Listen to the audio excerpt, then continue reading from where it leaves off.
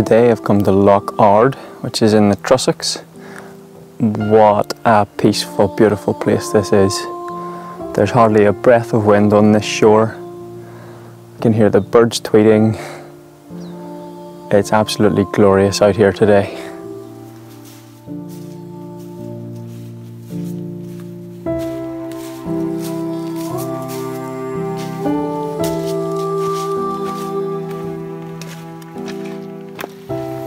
Relatively speaking, this is quite a small loch.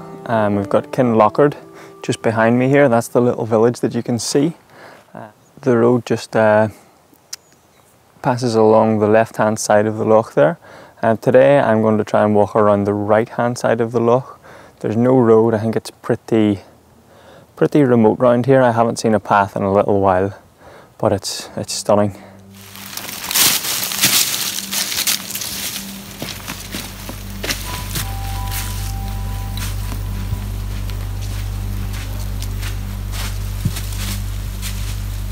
And first photo of the day is got I've got a fantastic little beach here. It looks more like muck to be honest but um, there's some really beautiful shapes in the sand just from where the silt has settled. Um, it's leading out onto Loch Ard and we've got a few little trees as well. Um, I've got a bit of a polarizing filter on today just to try and bring out some of the colours from the earth just on this little beach. I'm sure you can see this little beach here now. Um, looks like there's been a few people have had some mishaps on this. It looks pretty marshy down there and my camera sunk quite a bit as soon as I put it in so um, yeah I'm not going to venture too far out into that.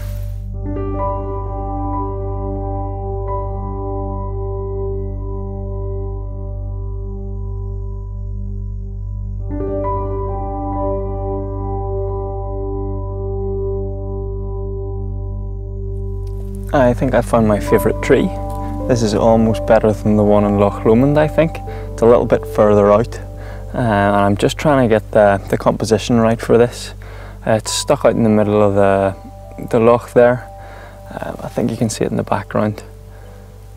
And um, I'm just waiting for the wind to die down so that I can get a nice reflection of the tree uh, in the water as well as the tree itself.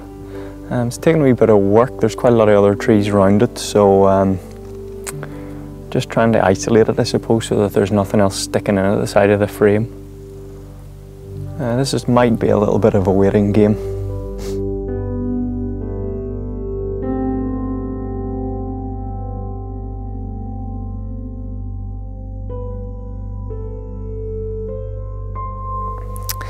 Never thought I'd say this, but this place just seems to be full of nice trees. Uh, I've got a nice birch tree here. Can't get much nicer than that, eh?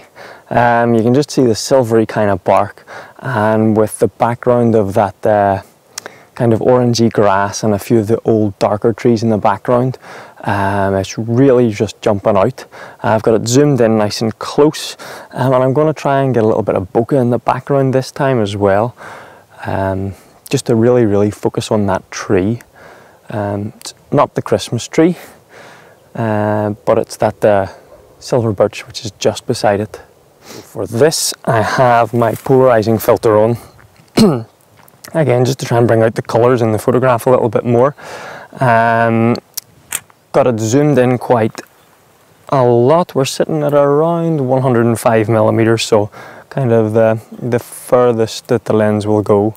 Um, apart from that we've got a aperture of 4 and a shutter speed of an eighth of a second.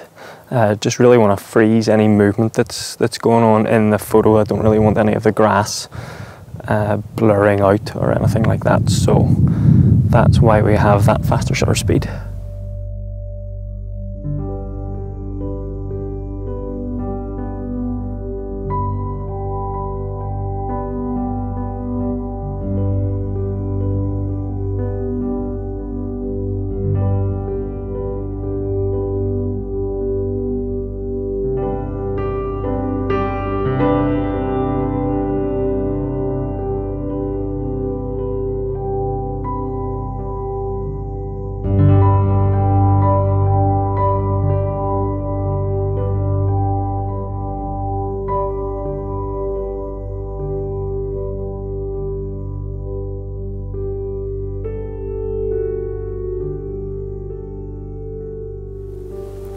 This place is amazing. It's one of the only forests that I've found that I actually feel like I can get the camera out and take pictures. Um, I've got a few pictures of a few trees. There was a lovely little uh, bunch of, uh, I think it was birch trees um, earlier on, which I set the, the wide angle lens up. Got some kind of distortion effect. Um, but yeah, it just seems right down beside the lake here. Uh, the trees are pretty sparsely packed. It's not too tight. Um, you can get some real good uh, contrasts between the bright orange ground and then the dark trees. I'm going to explore here for a little bit longer and then I think it's lunchtime back to the car.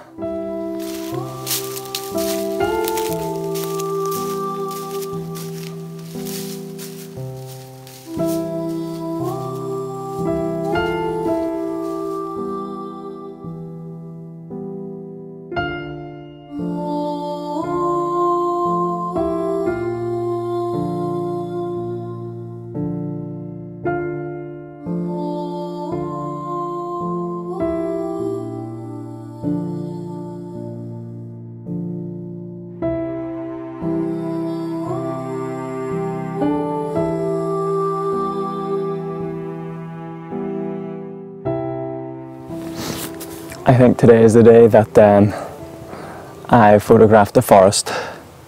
Uh, there's been a couple of trees about earlier on today which I've tried to photograph. That one on the lake, uh, which was looking fantastic, but this, this forest is great.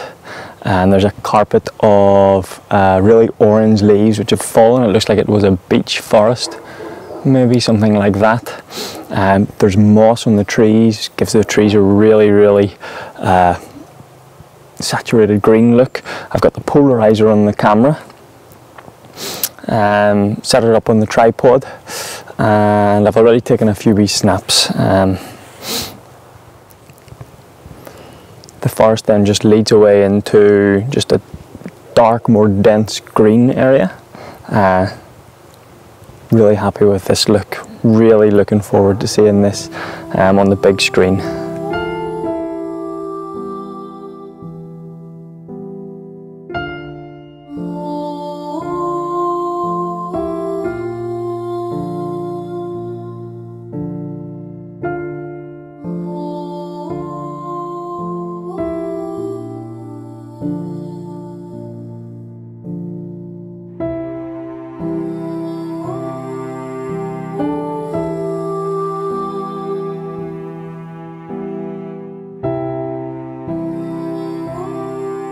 Thoroughly enjoyed my little walk along the southern shore of Loch Ard there. Uh, some great forest, some great views over the loch.